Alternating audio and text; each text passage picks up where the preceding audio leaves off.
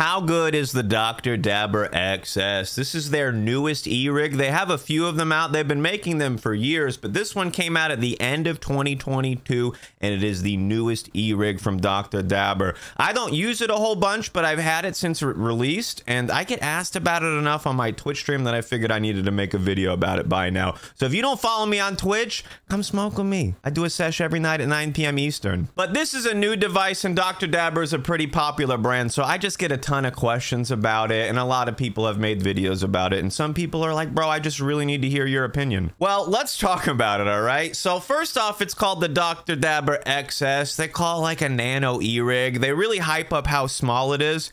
This thing is huge for it being a tiny e-rig or a nano e-rig or a small e-rig or whatever. Like this thing is massive.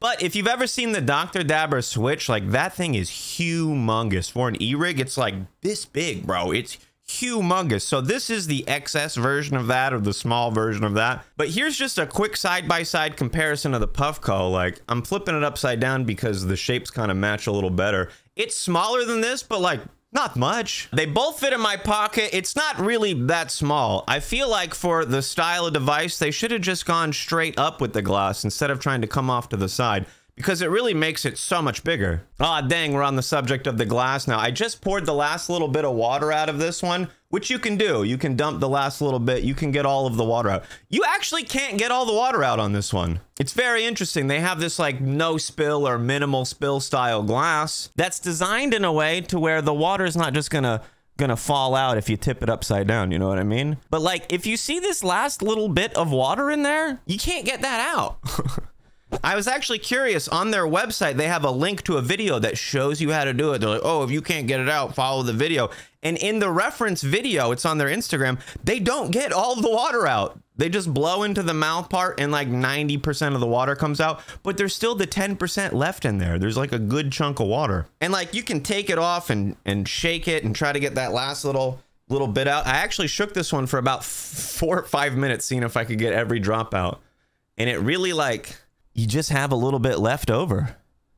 So in my mind, I'm like, this thing is never clean. You never get it fully clean. You can never rinse it out. You can never fully swap the water. Like imagine if you let it sit for too long, which you shouldn't. You should try to clean your stuff every day. But like, you're like, oh man, I forgot about this thing. You come back and it's got like a little bit of mold or something in it.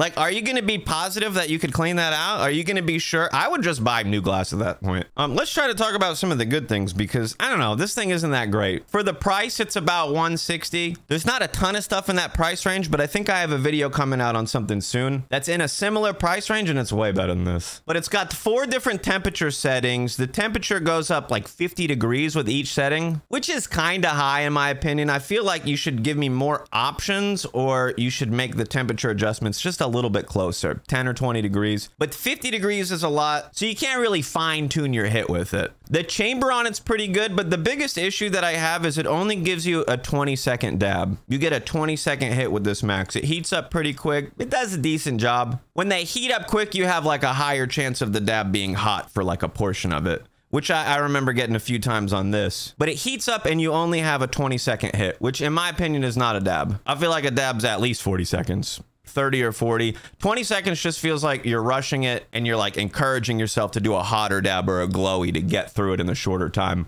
Concentrate takes a little bit more time to vaporize than 20 seconds. One of their other devices, the Boost Evo, you can actually toggle between 20 and 40 seconds. You only have two time options. But when I was using this one, I, I couldn't figure out how to toggle it to 40, and then I found out, oh, you can. It really only does a 20 second dab. So the hits on it, they're not they're not long enough they're okay. They're good hits. It doesn't like scorch every dab like some other devices. I think the low temp on this is an actual low temp where you might have to run it a few times to get all your concentrate. But the hits are just too short. I mean, it's a it's a small device. It's an XS, but the the hits are XS. I'm getting a 20 second hit. That's extra small. It's about half the size or a third of the size. My typical dabs are about a minute on an E-rig. I have a few devices that if I can program it, I'll set it to give me a minute long dab. So this is like a third of the hit, but it's, it's really like the same size rig. I don't know. In my opinion, what this device is, it should be way cheaper. It should be under a hundred bucks. I think that it should have the glass in line with the top or more options because I think the little sidecar on here or it going off to the side just makes it so big it kind of defeats the small purpose. Oh, that's a, that's another thing on here is the chamber and the cap and this is true on a lot of Dr. Dabber devices is they don't really set you up for a terp pearl. They don't sell Terp Pearls on their website. I don't think Dr. Dabber knows about Terp Pearls. If you have a chamber that doesn't have circular airflow, something like a spinner cap can give you that, that can move the oil around, you don't always get the best hit. With this, it just blows the air straight down into the middle of the atomizer. It doesn't go in a circle like a spinner cap would or an auto spinner. So what happens when you do that is you pull cold air down into the center of it and it pushes all the wax towards the sides and it kind of pools up there. A better device would try to move the oil around and spread it around on the surface so you get like a thin layer of it instead of it pooling up in the corners. That's how you get a better dab or that's how you maximize your hit. Just putting one Terp Pearl in like a regular banger can make a world of difference. So I really think on the next device, they should try to design it with a Terp Pearl in mind because I think all the devices are designed where you're not supposed to use one. And they just, they don't give the best hits. I'm not a huge fan of the brand overall. I feel like they could do a lot better with their devices, especially for what they charge. Either way, it's not all bad. While it's not my favorite device, it is on the lower end of the price scale. Some people do prefer hotter, shorter dabs or a burst of a dab instead of like a more mellow drawn out one. So I do know there is a market for people that want something like this, but for me, they could have done a lot better with this. Anyway, I think I'm gonna do a tier list on E-Rig soon. So if there's one you want me to check out that you haven't seen me make a video on, leave me a comment. Let me know what E-Rig. There's so many, I can't get them all. Some of them I've tried.